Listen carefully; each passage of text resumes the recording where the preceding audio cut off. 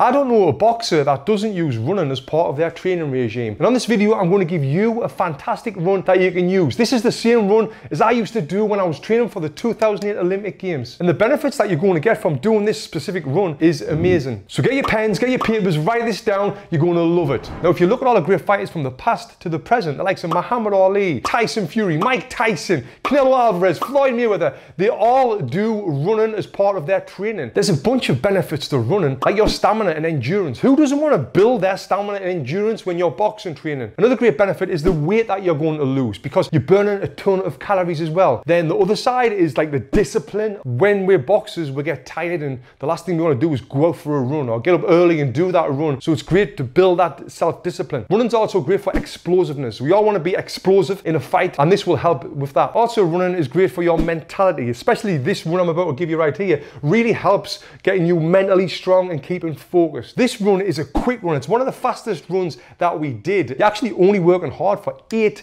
minutes. And this run is called the 4-2s Sustained Running. Now, we used to do this run on a running track. This is my picture of a running track, which is terrible, I know. Now, the standard running track is 400 meters long. Now, you don't need a running track to do this run, but I prefer it because you can really measure your progression and your fitness when you are doing it on a track. And I'll tell you exactly how to measure that in a minute. But right now, I'm to tell you about the run. So we're going to start off with a warm up. Now you need to warm up your full body, not just your legs. You need to get that blood pumping through your body. Now, I've done a full video showing you how to warm up the full body. You can watch that video after this. But yeah, warming up is very important, especially on this run because it's a sustained run. I'll explain that in a second. But yeah, if you go into a run like this, or just about any run cold, there's a good chance you will pull a muscle and you'll get injured, and that's the last thing we want. So now you've done your warm up, now it's time for the run. You're going to do two minutes of running four times and have a one minute rest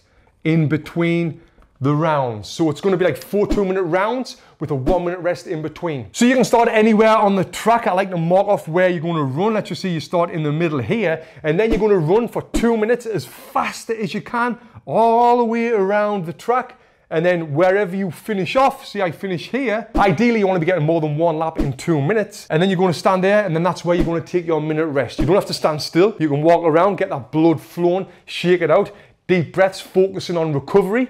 And then what you'll do from here, then you're going to go again after that one minute rest, another two minutes, and then so on and so on. So you've done four two minutes with a one minute rest in between. Now with that, I don't mean you're gonna start here and you're gonna sprint as fast as you can because guess what? By the time you get here, you'll be absolutely exhausted. You've got to learn about pacing yourself, but not in a way where, you know, you're gonna finish the two minutes and you're just gonna be like, I when you finish that two minutes exhausted. And after a minute, you will be exhausted, but you've got to push through that. Like I said, this is great for the mentality because your body wants to give in. Your body wants to stop this running because it's hard. But how strong are you? You, need to get through that. You need to push through that. And it's great to do this run with someone else to kind of compete with them as well to help push each other along. Now, a few things you need to do when you are doing this run is one is stay relaxed. When you're running, you need to have good form. Just like I always say about boxing on this channel, having good form and technique, the same with running. And that will just get better over time if you're not used to doing this run. Another big thing is learning how to breathe. You've got to breathe correctly on here. Now, another thing, what is very important is your recovery time. That one minute, use it correctly, breathe properly, get that oxygen into your lungs. If you bend over the wall, you're not recovering. Chest forward, then big, big deep breaths.